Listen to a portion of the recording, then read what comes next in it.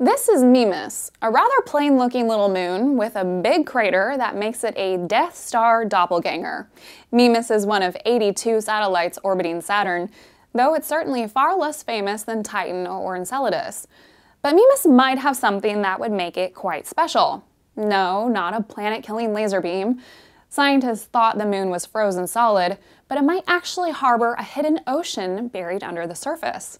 While studying images taken by NASA's Cassini spacecraft, scientists noticed that Mimas has a strange wobble, even though it's almost a perfect sphere. This is a hint that there might be something lumpy, or even sloshy, beneath its frozen outer shell.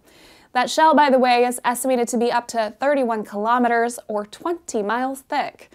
Mimas is an enigma because other internal water-ocean worlds like Enceladus and Europa tend to show some signs of geologic activity, like fractures and troughs. Another problem is that Mimas's ancient cratered surface doesn't look like water has ever touched it.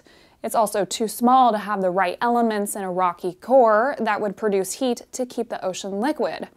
However, the gravitational pull of Saturn on Mimas's lopsided orbit could create just enough tidal heat to maintain a liquid interior while leaving the surface frozen. If Mimas is indeed an ocean moon, that would mean many other worlds in our solar system and beyond may also be hiding oceans that we overlooked. And where there is an ocean, there is the potential for life. Aside from the question of liquid oceans on Mimas, there are still many mysteries swirling around the moon's existence. All scientists need now is for a spacecraft to confirm their theories about how heat flow affects icy shells by visiting an ocean moon.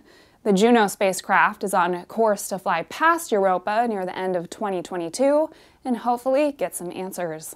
For Space TV News, I'm Cambrie Caldwell.